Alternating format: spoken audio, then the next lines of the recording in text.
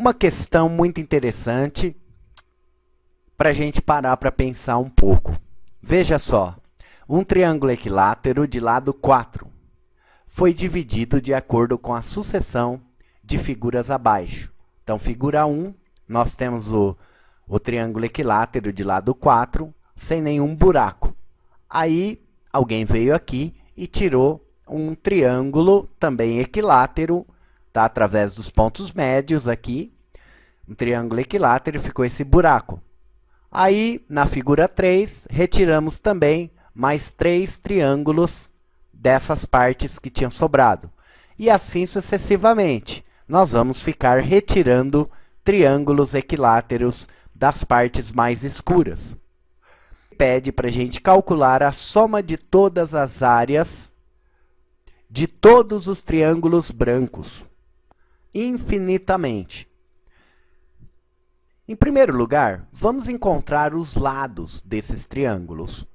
Como esse primeiro aqui tem lado 4, e esse outro branco aqui retirado, ele foi obtido com os pontos médios dos lados, então o lado dele é 2. Os outros três aqui que retiramos, vai ter o lado 1. Repare que os lados também vão fornecer uma progressão geométrica. Então, aqui vai ser meio, e assim sucessivamente.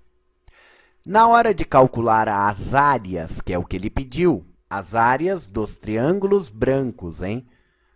Vamos utilizar a fórmula da área do triângulo equilátero. Então, você foi no coração e buscou L quadrado raiz de 3 sobre 4. Aqui o lado é 4, mas não tem triângulo branco aqui.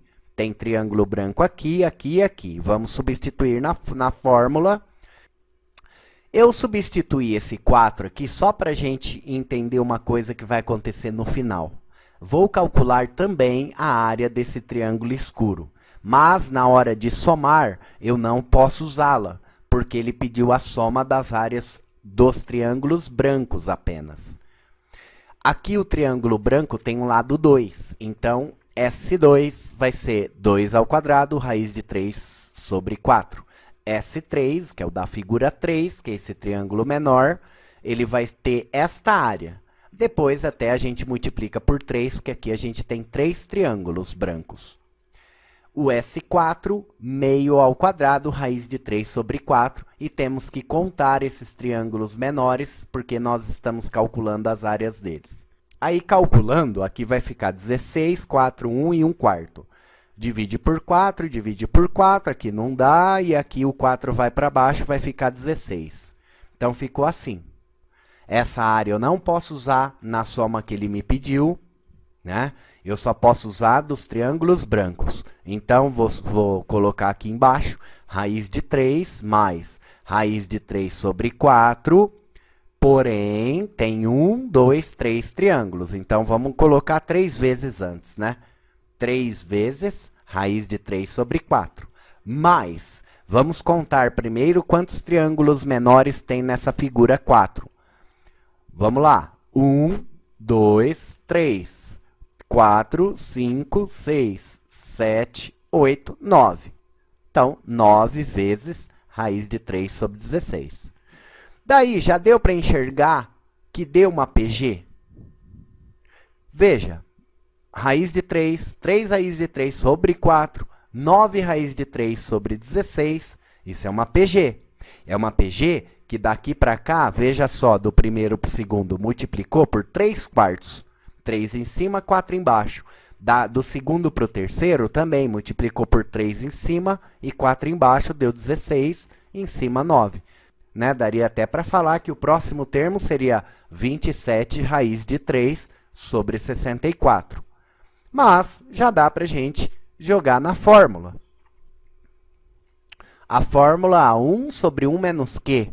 Vamos colocar a fórmula aqui primeiro, agora a raiz de 3, e a razão 3 quartos.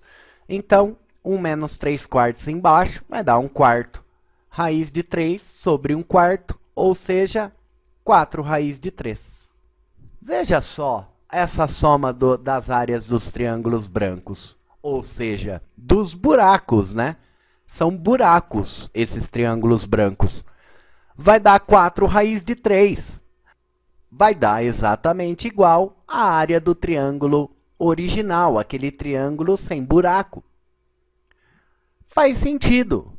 Porque se você ficar retirando vários triângulos brancos do triângulo preto, ou seja, colocando buracos nele, vai chegar uma hora que você vai completar o triângulo inteiro. Não vai ter mais nada.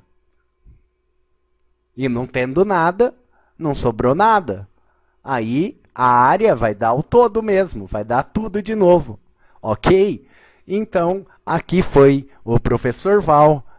Se inscreva no canal. Obrigado por assistir. Um abraço.